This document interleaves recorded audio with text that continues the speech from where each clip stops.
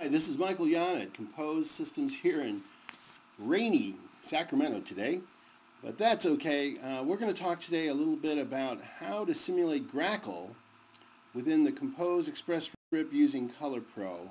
Uh, the Compose Express Rip, of course, is what is in the center of Express Label Print.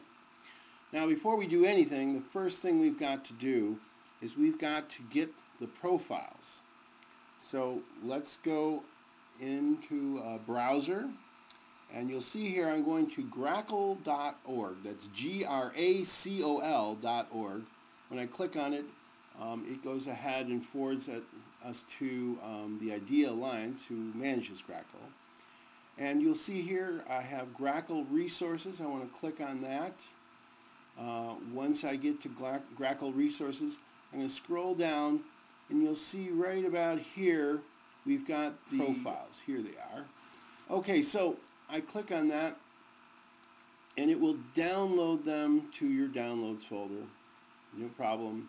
Uh, then you just click and say you want to show in folder and you'll see here I've got a zipped archive.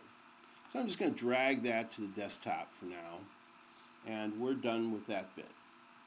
Alright, so now that we've uh, downloaded this, uh, this uh, profile, we'll go ahead and extract it and just put it right there out on the desktop, no problem. There's our profile. That's what we're going to be using uh, a little bit later. Okay, so uh, the next thing that happens is that usually you've got uh, Express label print running. Uh, so let's go ahead and uh, restore that. You can see here I've got it running. To, to edit the RIP, you have to stop the workflow. So we'll go ahead and stop our Express label print workflow.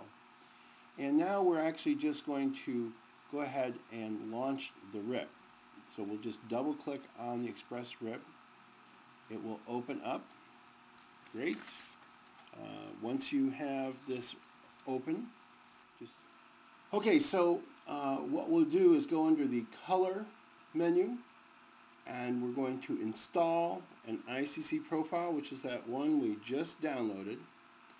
You can see here um, I've you know, you can navigate right to the one that's on the desktop. I select GRACoL and I say OK. Now, when you're presented with this dialog box, we've got to do a few things. So we're going to use it as our input profile. And because we're actually using the output profile that we developed for this paper that you were given with the paper, we're going to just use it in what we call emulation mode. And when we click on install, it will go ahead and upload that into the RIP. Now, to actually activate it, I've got to go under my color setup manager, which is the second item down. And once we're there, we need to select our device. So here I'm going to be selecting the Oki. Um, I am going to then say I want to make a new Color Pro setup. So here we have the large dialog box. Uh, it looks a little complicated, but we're going to step you through it one part at a time. So first we're going to go ahead and select the GRACoL profile we downloaded. Uh, for any objects, type, or images that happen to be RGB in a PDF or PostScript file, we want to use the sRGB profile. Uh, leave color managed as gray. We want to turn on treat spot colors as CMYK. Um, I'll talk a little bit more about this a little later. And uh, we also want to uncheck preserve 100% black. This will give you a little bit darker, richer black uh, than just 100% black. Put some color in behind the black ink. Uh, you can leave the rest of these defaults. Uh, this one we want to turn on, and that's what I was talking about here with Tree colors uh, SCYK. What this does is it does this as the last possible process in the conversion, and it's going to use the Pantone color library, so that way uh, there is a Pantone library embedded in the RIP we license from Pantone, and it will go ahead and use those.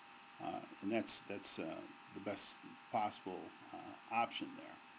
So, uh, of course, The big important one to pick, of course, uh, we've spent a lot of time with the paper, uh, printing colors and making a really good profile for the paper. So you want to pick the paper profile as the output profile. And we are going to be simulating GRACoL on that paper. So it, we need to pick that there. Uh, for main intent, we're going to select ICC auto switching and use black point compensation. Get a nice smooth transition for our blacks that way. Um, if you're, I'm sure you're familiar with viewing booths. Uh, that is why we're going to select Graphic Arts D50. And for color adjustments, we definitely want to pick accurate. So we've gone ahead and, and selected these settings. Um, I would then hit Save As, and now we come up with a naming convention. We typically use uh, the color standard, device name, and paper as a naming convention. So in this case, we're going to use G R A C O L, and then the device, which is the Oki uh, 510, and then for the paper, uh, I'm just going to do the 10,000, right? And we'll go ahead and save that, and there is our color setting. Great, say OK.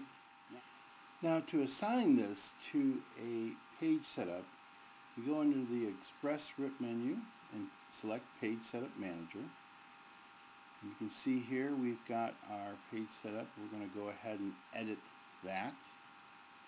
And under Color, we can now see that this uh, is loaded here. We'll go ahead and select it there and under Calibration we'll do the same. Like that. Say OK and click OK and you're good to go.